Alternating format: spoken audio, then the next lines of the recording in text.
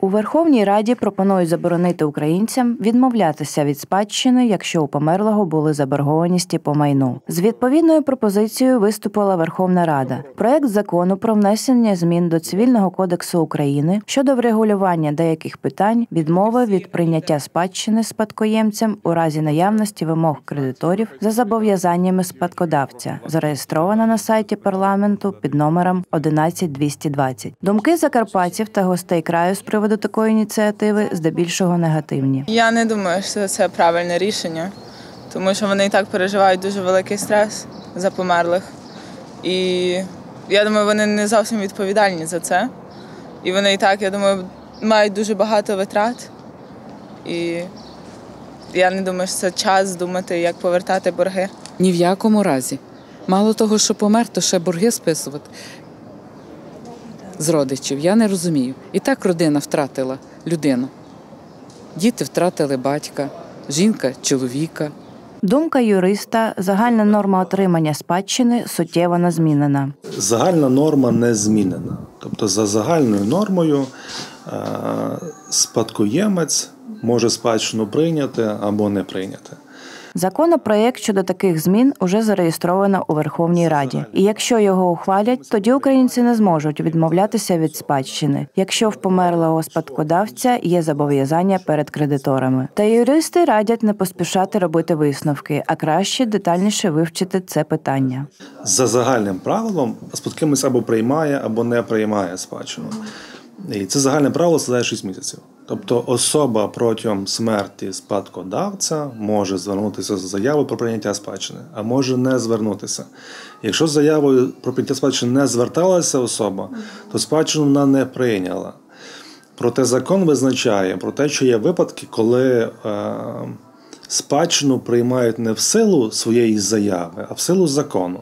Наприклад, якщо особи проживали із спадкодавцем на час його смерті за однією адресою, то вони вважаються такими, що спадщину прийняли.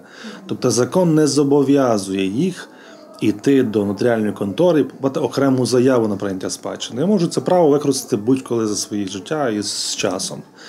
Також малолітні, неповнолітні, недієздатні і обмежено дієздатні особи теж вважаються такими, що спадщину прийняли, незалежно від того, що подавали не заяву. От норма, яка зараз е, обговорюється, яка внесла внесена Верховну Раду, вона стосується того, що е, в разі наявності зобов'язань спадкодавця, кредитних або інших боргових, особи не вправі відмовитися від прийняття спадщини. Це стосується тих осіб, які за законом спадщину фактично прийняли. Незалежно хто прийняв спадщину, ті особи, якщо прийняли спадщину за особою, яка мала борги, відшкодовують ці борги в межах вартості цього майна. Зі слів юриста, за спадкоємцями залишається право нотаріально відмовитись чи прийняти спадщину. Ті самі особи, які в шестимісячний строк можуть спадщину прийняти або не приймати, в разі якщо вони її прийняли, то вони теж не зможуть відмовитися. Але в разі, якщо вони прийняли. Але разом з тим, якщо вони спадщину не приймали, то зобов'язання її приймати в них немає. Переселенці з окупованих територій теж матимуть можливість у будь-якому регіоні країни звернутися до нотаріуса. Питання лише в володінні на цей момент. Але якщо є ситуація, де майно перебуває на окупованій території, а особа проживає, наприклад, на західній Україні. І особа, яка була власником, померла, то mm-hmm. теж дозволяється будь-де в країні в будь-якого нотаріуса.